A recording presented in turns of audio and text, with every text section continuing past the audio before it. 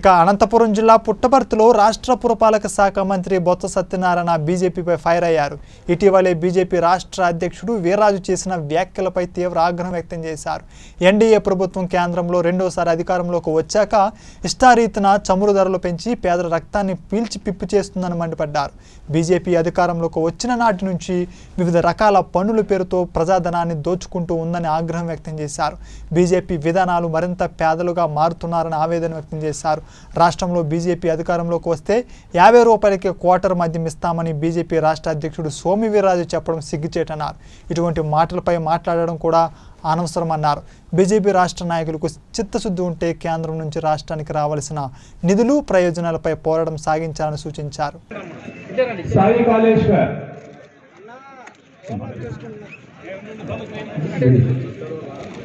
ఇప్పుడు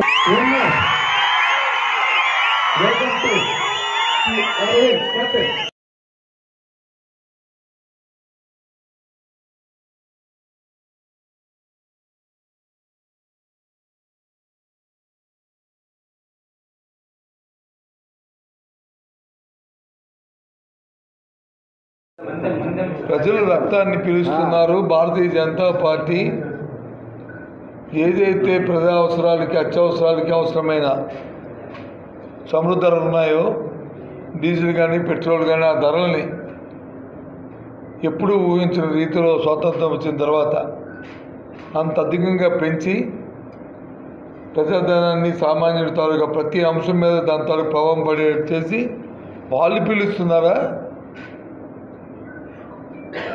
మేము పిలుస్తున్నామా? మాట్లాడగలిగిన ఆలోచన ఉండాలి. చెప్పండి. అసలు ఒక విషయాన్ని మాట్లాడుతున్నాను నేను అడుగుతాను. అదే సభ మీద నుంచి భారతీయ జనతా పార్టీ ఒక సందేశాన్ని ప్రజలకు ఇచ్చింది. ఏమని? మేము వస్తే మద్యం ధరలు తగ్గిస్తామని. ఎంత ఆశ్చర్యస్పదంగా ఉందండి. మద్యం వచ్చి ఒక అత్యవసరమైన అంశంలాగా ఒక అసెన్షియల్ కమోడిటీలాగా ఆ రోజు స్వర్గీయ రామారావు గారు ఉన్నప్పుడు వచ్చి రెండు రూపాయల కిలో బియ్యాన్ని ప్రజలకు ఐదు వేలు నోట్లోకి వెళ్ళడానికి మేము పెడుతున్నామని చెప్పి ఆ రోజు చెప్పింది. లేదు ఆ తదుపరి వచ్చిన రాజశేఖర రెడ్డి గారు కానీ ఆ తదుపరి వచ్చిన ప్రభుత్వాలు కానీ దాన్ని రూపాయి చేసిన నేపథ్యం. ఎందుకంటే తిండి లేకపోతే బతకలేము అది దానికి కావాలి సామాన్యుడికి అది అందుబాటు రావాలని ఆ రోజు అది దాంతోపాటు అత్యవసరమైన సరుకులన్నింటినీ కూడా ఆ రోజు తీసుకొచ్చింది. కానీ ఈరోజు ఆశ్చర్యం విషయం అంటే మధ్యాహ్నం రేడితే మద్యం వచ్చాడంటే చచ్చా అది వాళ్ళు విజ్ఞతగా వదిలేస్తున్నాము. ఏ విధంగా ఈ రాజకీయాల్ని ఏ విధంగా భారతీయ జనతా పార్టీ